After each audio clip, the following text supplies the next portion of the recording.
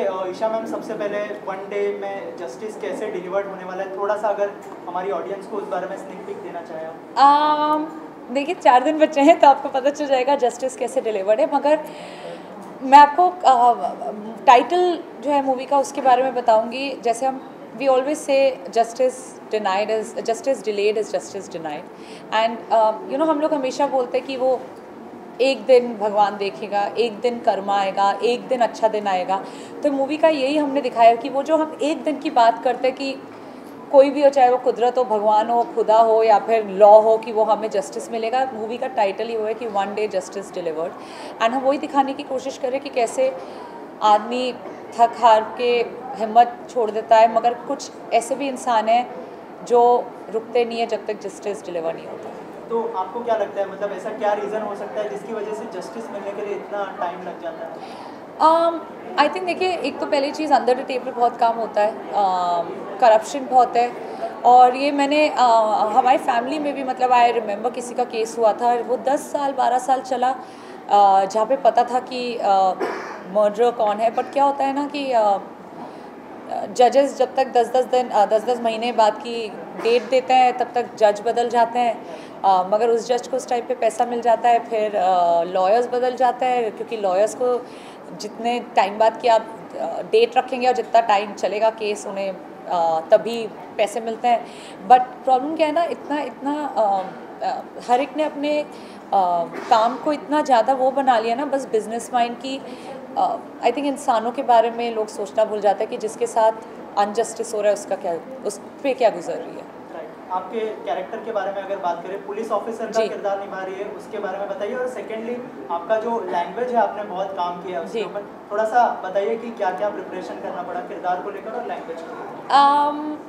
किरदार पे तो देखिए ज़्यादा नहीं बोलूँगी पूरा ओवरऑल कैरेक्टर पे आई थिंक जो मेरी सबसे ज़्यादा मेहनत गई मतलब जो हमारा प्रिपरेशन में जो टाइम गया वो टाइम हमारा गया है uh, जब you know getting the dialect getting that accent right क्योंकि uh, देखिए स्पेशल क्राइम ब्रांच ऑफिसर है तो ऐसा नहीं है पढ़ी लिखी नहीं है वो हर शहर जाती है उसकी पोस्टिंग होती है। मगर वो काफ़ी बार क्या होता है जब मैं भी हिंदी बोलती हूँ ना तो लोग बोलते हैं अरे तेरी हिंदी पता चल रही है कि तू पंजाबन है। तो वो आ, अशोक सर को था कि जब वो मैं बोलूँ मेरी भाषा में लगना चाहिए कि हाँ ये हरियाणा की है कॉप कि पैदाई वहाँ पैदाइश वहाँ की हुई है। एंड आई थिंक मेहनत उसमें गई ताकि लगे ना कि ओवर एक्टिंग हो रही है यू नो काफ़ी बार जानबूझ के कोशिश करते हैं एक्सेंट लाने की वो नहीं।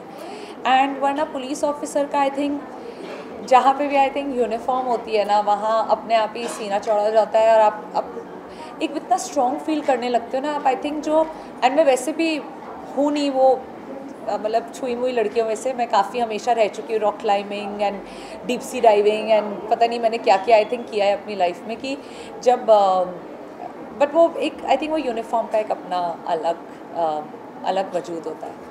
So, पुलिस वाली कैरेक्टर है कितनी आ, मतलब अभी पुलिस वाले होना कितना गर्व की बात है। तो आपने कितना गर्व महसूस किया उसमें? देखिए पुलिस वाला होना बहुत आ, कोई भी किसी भी वर्दी वाले को आई थिंक मैं हमेशा सल्यूट बोलूँगी। थैंक यू सर मैं तो इनफैक्ट इवन ट्विटर पे मैं इसीलिए अभी जब भी कुछ हंगामा होता है तो मैं सबसे पहले जाके बोलती हूँ थैंक यू सर जो भी हमारी पुलिस है मुंबई पुलिस की फ़िलहाल बात करूँगी। अब तो मुंबई घर है मेरा। बट यू नो एक पुलिस वाले यार बहुत मुश्किल है। पहली चीज़ पुलिस वाला होना।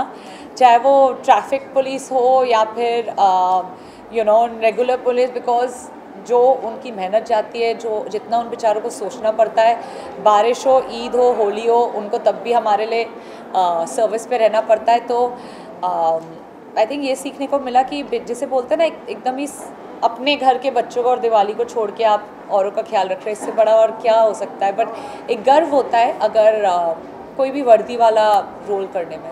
वनडे के लिए आपने गोल्ड बहुत पहना हुआ है कोई खास बात? देखिए हाँ। ये एक्सेसरीज मैच कर रही है और कुछ रीज़न नहीं है। हाँ? इसलिए मैंने पूछा। वनडे और गोल्ड का क्या हो गया? बजट आ रहा है ना इसलिए गोल्ड पहले खरीद लिया। ओ तो so, मैम आप रियल Sorry. लाइफ में कितनी दबंग है जो मूवी में आप तो दबंग प्ले कर ही रहे हैं तो आप रियल लाइफ में कितनी दबंग हैं? मैं रियल लाइफ में इतनी दबंग हूँ कि आई थिंक थैंक गॉड मुझे कभी पुलिस वाला नहीं बनाया क्योंकि जितना जितना मैं अत्याचार और पागलपन देखती हूँ आई थिंक मुझे जैसे ही पता चलता कि अच्छा ये क्रिमिनल है और अब इसे जेल हो गया आई थिंक वो जेल ले जाने से पहले मैं मार देती सबको। तो थैंक गॉड मैं नहीं हूँ पुलिस वाली। ईशा मैम हम सबको पता है कि आप बहुत स्ट्रॉन्ग है और कोई भी अ, मतलब चीज़ें होती है तो आप ट्विटर पे पहले अपना रिएक्शन देती है। तो अ, इस फ़िल्म से और जो कैरेक्टर है और खुद को कितना कनेक्ट करती है आप थोड़ा सा बताइए उस बारे फ़िल्म से आई वो देखिए फ़िल्म से इसलिए कनेक्ट करती हूँ जो आई आई एम श्योर आप सब करते हैं फ़िल्म से कनेक्ट हम सबने अपनी लाइफ में कभी ना कभी क्या कभी क्या हम केसेस पढ़ रहे होते हैं यार जो सालों साल चल रहे हैं। जिनका कुछ लोग होती है जिन्हें दया आती है क्योंकि उन्हें पता नहीं वो बात आ, कि वो क्रिमिनल है नहीं है। कुछ लोग होते हैं जो उसके अगेंस्ट होते हैं। हम सबने इतना इनजस्टिस और इतना डिलेड जस्टिस देखा है कि हम सबको वो दुख है और अंदर दर्द है। अ, तो आई थिंक उस चीज़ से आप सब रिस्पॉन्ड करेंगे। इनफैक्ट आप अ, इस फ़िल्म से मैंने हाँ ये ज़रूर जो रिलेट कर पाओगे कि लाइक आई सर अभी भी कि अगर आई स्वेर अगर मेरे बस का होता ना, मुझे पता चलता कि ये सब क्रिमिनल है और इनके खिलाफ मतलब प्रूफ है सारा तो आई थिंक मैं सबको मार देती। कोई मतलब मैं केस ही नहीं लड़ती, सीधा मार देती सबको। मैम लास्टली क्या मैसेज होगा हमारी ऑडियंस के लिए? फ़िल्म को फ़िल्म जी। रिलीज़ होने वाली है। तो ऑडियंस को क्या मैसेज देना चाहेंगे आप अपनी तरफ़ से? फिफ्थ जुलाई को जाके देखिए थिएटर में वन डे एंड मुझे पता है आप लोग हमेशा बोलते रहते हैं कि वो एक दिन कब आएगा एक दिन कब आएगा। तो जाके देखिए वो एक दिन आएगा फिफ्थ जुलाई को। Thank you thank you